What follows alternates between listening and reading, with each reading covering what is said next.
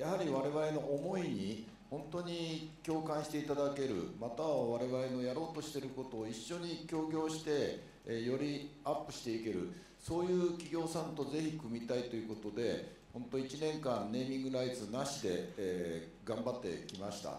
え、その回あってですねアシックスさん本当最高のマッチングができたと思ってまして本当にいい出会いをいただいて感謝しております。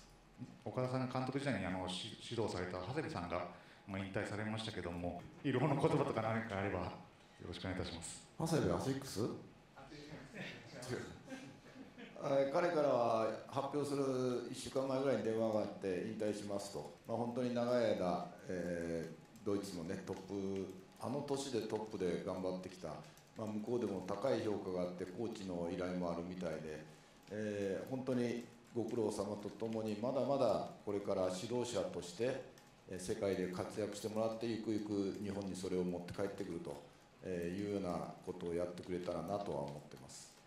現時点でこいつぐらいまでに J1 で戦いたいですとか今後の見通しとか展望みたいなものがありましたらよろしくお願いします、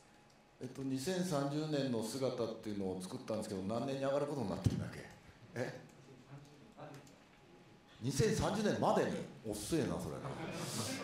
あのまあ最初に10年であの J1 へって言ってたのがやはり実現できなかったということもあって2030年までに J1 で活躍できるチームにするということで1年でも早く昇格していきたいと思ってます。